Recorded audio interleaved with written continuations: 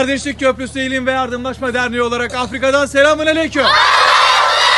Kardeşlik Köprüsü Derneği olarak Afrika'da yetim kardeşlerimizle beraberiz. Şimdi buradaki kardeşlerimizle beraber korona hastalığına kapılan Hüseyin Çevik hocamız için dua edeceğiz. Şifa duası edeceğiz. Hep beraber amin diyelim. Bismillah. Bismillahirrahmanirrahim. Amin.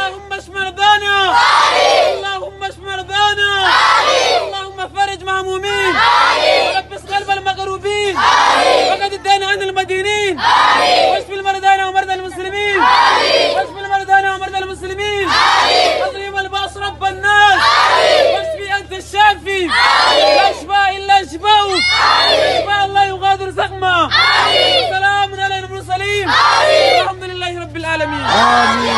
Amin. Rabbim kardeşlerimizin aminlerini Hüseyin Çevik hocamızın hastalığına şifa eylesin. Afrika'dan selamun aleyküm.